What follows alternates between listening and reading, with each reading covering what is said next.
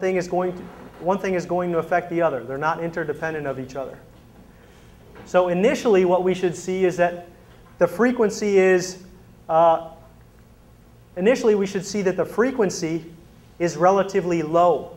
So I'm not saying taking long loping steps, but you want to have big complete pushes initially. It's not little choppy steps. Uh, the stride length is going to be a little bit smaller. Stride length is going to be a little bit smaller, but that is not due to the uh, fact that the guy's not trying hard or he's just trying to turn over real quickly.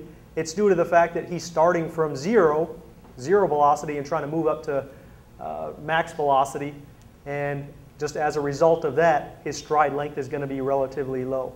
As he, as he progresses through the acceleration, frequency should get faster and stride length should get longer. Uh, progression of speed, what we should see is that he moves from a relatively slower moving body parts to much faster. Everything tightens up and moves a little bit faster. And again, as I showed on the wall over here, we should see the progression of body angles moving from this, uh, say, 40 degree departure angle, gradually pushing the hips underneath the shoulders. Uh, this, just real quick, this frequency and stride length relationship issue, no matter what sport I'm working with or training the athletes in, there's always, I always come upon an athlete who has a uh, misconception about this issue here. And the misconception is that you want to turn over really quickly initially. Turn over really quickly initially to get yourself going. And the thought process is that, well, I want to, I want to get as many foot contacts in as possible. Well, what results from that is you're essentially just tip tapping the ground. I call that uh, turnover addiction. People like to feel like they're turning over real quick. But really what's going on is it's a uh, hamster in a treadwheel, hamster, hamster in a treadwheel uh, scenario. If anyone has ever seen a hamster put in a treadwheel before, they spin their legs real fast, but they don't go anywhere. And that's the same type of concept here. These first couple steps, they're not slow, but they have to be big, complete pushes, not little choppy steps. After, say, the first uh, 15 to 20 yards, we hit what I would call maximum velocity or top end speed running.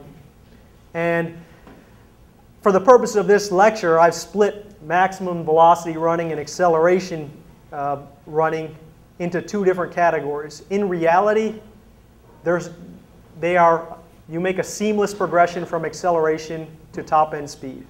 Again, uh, drastic changes have drastic con consequences. So it should be a gradual progression of body angles, uh, gradual progression of frequency, gradual progression of uh, range of motion.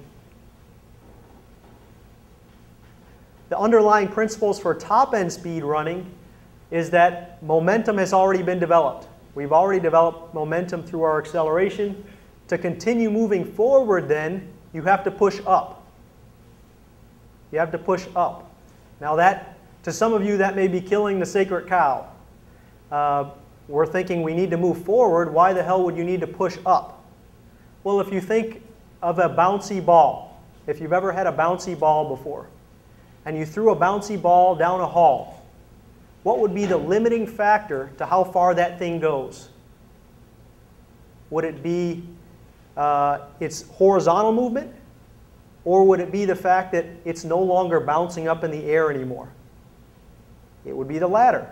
The effect of once momentum has been developed, the only thing that's going to stop you from moving forward is braking forces or the effects of gravity. So if we keep applying vertical forces by pushing up, once we've hit top end speed running, we'll get that bouncy ball going and be able to maintain or actually enhance our top end speed running. Uh, vertical force generation is made possible when ground contact is made directly under the center of mass of the athlete. So to get the body moving, we need to be pushing behind the center mass. When we're already up to speed, we need to be, have the feet underneath the center mass. And this is very different than what you see a lot of athletes do, where they're running with this butt out posture like this. This is what I call uh, uh, eighth grade girl